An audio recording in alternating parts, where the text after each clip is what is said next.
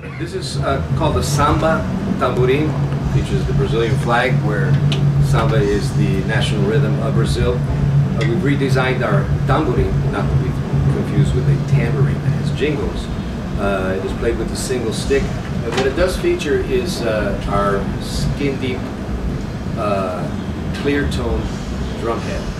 And basically what that does is that allows to give you a uh, like a clear ambassador kind of sound or clear diplomat sound. So it really projects in the percussion ensembles.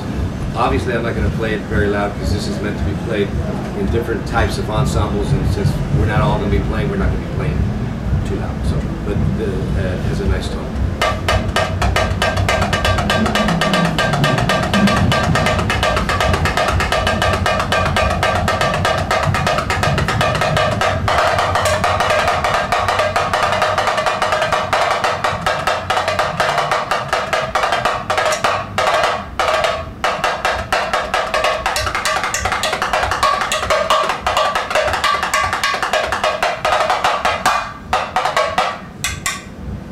Okay, so that's the Samba Tamborim, uh, made of 100% uh, recycled wood fiber, the Acousticon, five tuning points with the uh, SkynDeep, clear tone graphic drum.